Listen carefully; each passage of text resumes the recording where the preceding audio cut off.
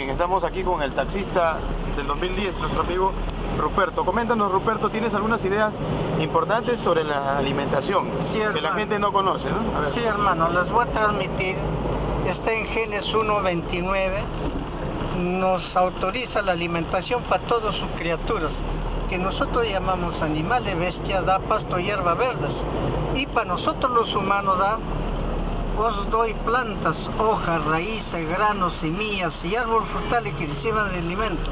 Y también pueden contar Romanos 14 al 19. En ningún lugar de la Sagrada Escritura nos dice que debemos consumir cadáveres, porque Dios dice, nosotros que llamamos hermanos primarios o hermanos menores, dice que son más antiguos que nosotros los humanos.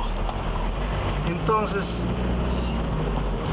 entonces la causa, 90% que padecemos de enfermedades por consumir cadáveres.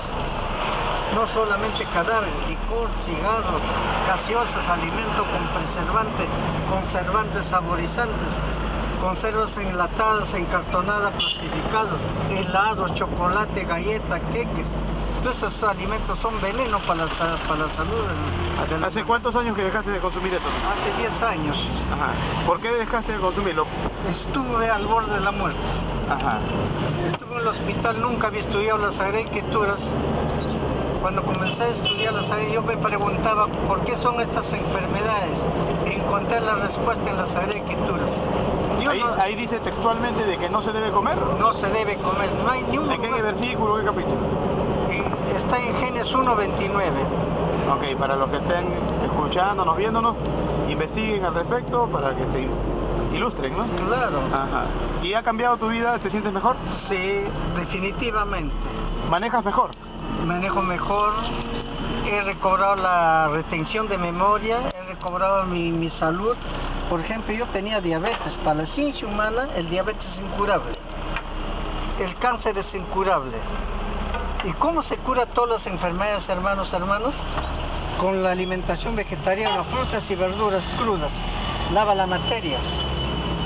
Ajá. Entonces va mejorando día en día.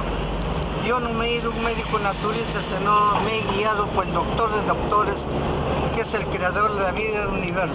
Ahora, pero en Perú el- lo que más ha triunfado es la gastronomía. Y la gastronomía peruana está hecha a base de carnes. Sí, Pollo y no sé qué más, ¿no? Sí. Ah, ¿Qué puedes decir al respecto? Yo digo, esta respuesta es, un- es por ignorancia. Porque les conviene a los médicos, a los, a los nutricionistas, a todos, a los políticos, a las religiones que estemos enfermos. Tampoco comes tu ceviche, por ejemplo, el pescado no, no era, por ejemplo, Jesús mandaba a pescar a sus, a sus apóstoles, ¿no? Claro. Multiplicaba los peces, entonces se equivocaba al hacer eso. Bueno, por ejemplo, le decía, ¿no? El hombre dice milagro. Él empleaba la metafísica, más de lo físico. Ajá. Pero se equivocaba al hacer eso porque les, les, les estaba invitando a comer pescado. Dos veces se comió pescado. El tiempo de vida Moisés o carne. El tiempo de Moisés cuando salieron perseguidos por los faraones, ellos pedían que comer carne. Entonces Moisés hizo una lluvia de cogorniz.